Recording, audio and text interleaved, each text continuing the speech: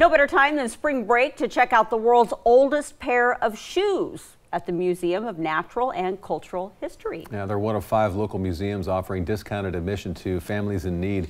Museums for All is a national organization with the goal of making museums accessible for everyone. And the Museum of Natural and Cultural History is Eugene's newest addition to their initiative. This is part of their ongoing efforts to make sure everyone can visit and learn. I just hope that um, we just hope that everybody who wants to come to the museum can come to the museum because it is something that is fun to do with a family. It's it's a great opportunity to do learning over spring break, um, but also it's fun. It's fun learning. To visit the museums at a discount, you just have to show an Oregon Trail or SNAP benefits card. Other participating museums include the Eugene Science Center, Cascades Raptor Center, the Jordan Schnitzer Museum of Art, and the Shelton McMurphey Johnson House. And if you have a library card, you can check out a cultural pass at, uh, as another way to visit museums for free.